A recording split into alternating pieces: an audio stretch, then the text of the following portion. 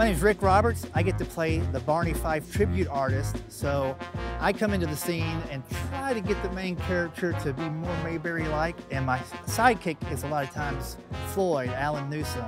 Hey, look, a stranger in town. No, we've we've already met. No, we haven't. I never forget a face. Yeah, I already told you. My name is. No, don't, don't, don't tell me. Don't tell me. Uh, let me see if I can. Uh, give me the first letter. C. Cal. No. Clay. No. Cliff.